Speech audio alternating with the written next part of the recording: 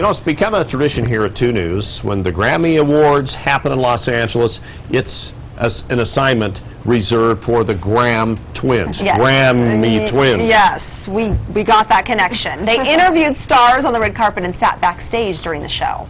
Utah, what's happening? I love you guys. Thank you for the support. Running Utes. Or wait, I'm kind of a Cougars fan too. Like, see, it's weird. I'm like 50-50. I did some time at BYU and some time at University of Utah. I'm like that weird breed.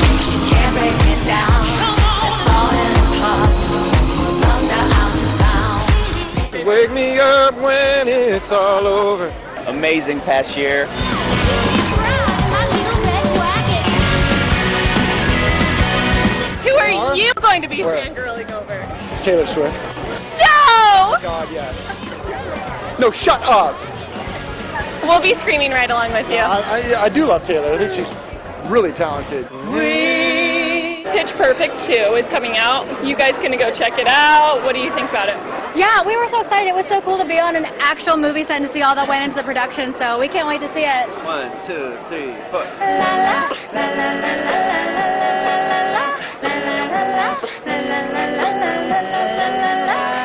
kind of this past year I've been singing and songwriting a lot more, and that's kind of what I consider myself now. Uh, very singer-songwriter, really acoustic, stripped down.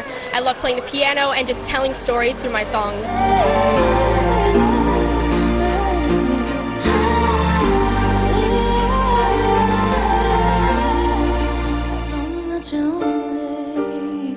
But at least I won.